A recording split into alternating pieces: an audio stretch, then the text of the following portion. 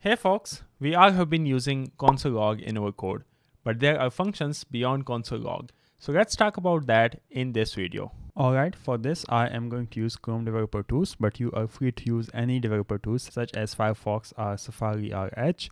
But in this case, I will go with Chrome Developer Tools. So the first one that all of us have been using is console log. And I don't need to talk much about this because we already know what this is. So for example, this is a log message. If I execute this, you can see this is a log message.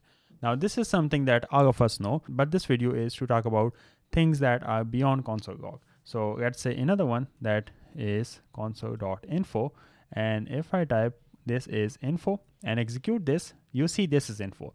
Now this is exact same as of console log, but you can notice the difference in Firefox Developer Tools. If you execute console info in Firefox Developer Tools, you will see a small eye icon to this.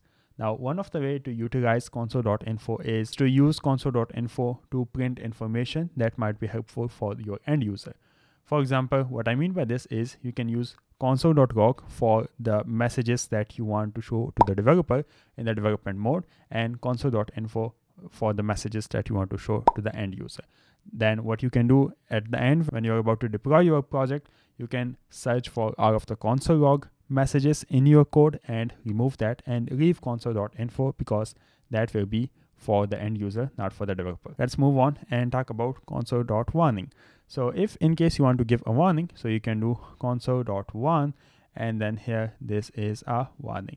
Now notice if I, when I execute this, you can also see that a warning has been added here. If I click on this, you can see this warning.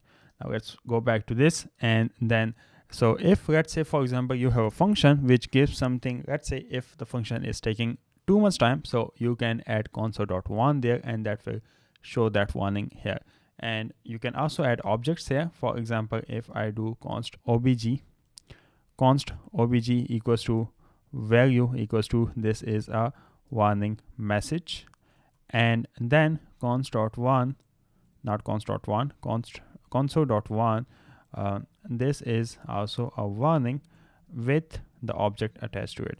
So now you can see this is also a warning with the object. So you can also add objects inside the console.warn. With that, let's move on to the error messages. And these messages, you have seen this before because all of us have faced a lot of bugs. And whenever we have a bug, we see a console.error. And if I show that to you, so if for example, you want to show a custom error message, so you can do this like this custom error message.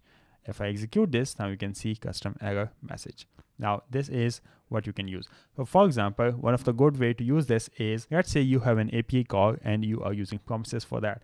So in the catch function, what you can do is you can use console.error and within that error you can add error.message and that message will be shown on the developer tools when the function catch is executed. All right, moving on. Now we have a long list here. So maybe we want to clear this. So now there are two ways. One is to click on this button in the developer tools of Chrome and that will clear the console. Other one is console.clear.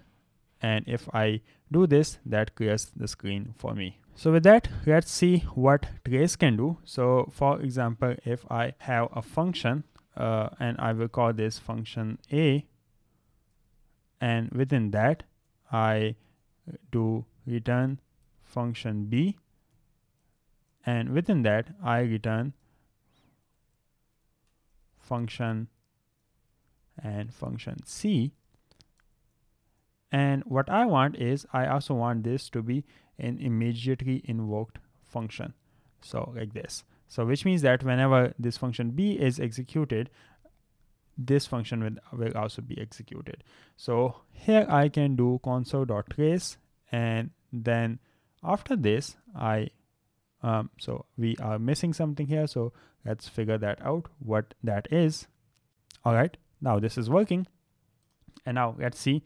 So if I do function a and invoke this this will just give me uh, this whole function. So I have to use the brackets twice no? So if I execute this now you can see console.trace was also executed and now it gives me the trace from where it was called.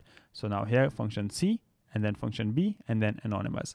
So what this means is that trace can be used to output the trace from where the trace was called. So from where this function was called. So it is useful to get the trace of the functions. If you have a lot of functions or if you are using callbacks or if you're working with a library or framework, so there you can use console.trace. With that, let's clear the screen. And then the next one is table. So table is used to present the data in the table format. For example, console.table. And then here, uh, I can use an array A, B, C and if I execute this, so we have the values and on the left side we have index. So the index is the index of those values. But we can also change those index. For example, if I have an object with the name person, now what I can do here is first name and make say this Aslan and then last name Khattak and save this uh, and then console dot table and within this table, I pass person. So now you see that the index is not the values or the index numbers, but it is the name of the properties. That is the first name and the last name. With that, let's talk about something that can help us with performance, that is time. So let's say if you want something to track how long a fun specific function or an operation takes, so you can use console.time. Now, if I execute this, a timer will be started. So let's do that. Now, a timer has been started, but we don't see anything. We can also have some custom timers. What I mean by that is to give it some label. For example, I call this FN and do this. Now, how can we check what timers we have currently? So for that, we can use time log that is time log like this. So now if I execute this, it gives me the default, which is this one. So this one has a label default by default. So if I do console dot time log and then here I pass fn, now we have the time for fn. So now notice you see the change in both the timers. So if I do like this, it has the name default, but if I give it a custom label, then it has the name or label fn or whatever the label I have given it. Now to stop the function, what I can do is console.time end and again I have to give it a label. So if I do this, it will stop the default label. So let's see. Now it has stopped default. If I now again do console.time log, let's see timer default does not exist because of course we just ended that. And if I do console time log fn again it exists because we have not ended it yet. So let's also end that time end fn.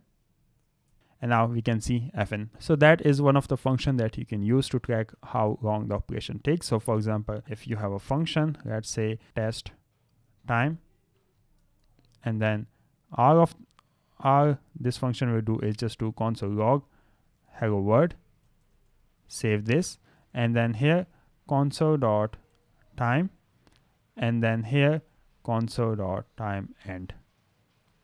So now if I do test time uh, you can see this is how long this console.log log takes. So if I do this again every time we do this it will have a different number that is something that you can use to track how long the operation takes all right one last function that we can discuss is assert that is console.assert.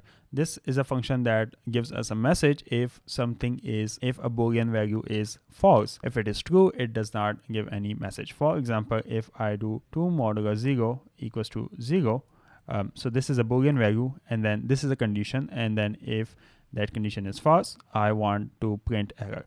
If I execute, now this is false, of course. But if I do 2 modulus 2, now nothing happens because now this condition is true. In this case, this condition was false, but in this case, this condition is true. So for example, here is another complex example, obj, and I type test equals to hello, uh, maybe not test, change the, the test to value, and then obj2 equals to obj and obj3 equals to obj using spread syntax. And then console dot assert so if I now compare obj with obj2 not matched. If if both of these are not same, so it should give me an error message not matched. So if I execute this, it does not give me an any error message. That is because OBJ2 has a same reference as OBJ. But let's see what happens if I do OBJ3. Now it gives me assertion failed, not matched. That is because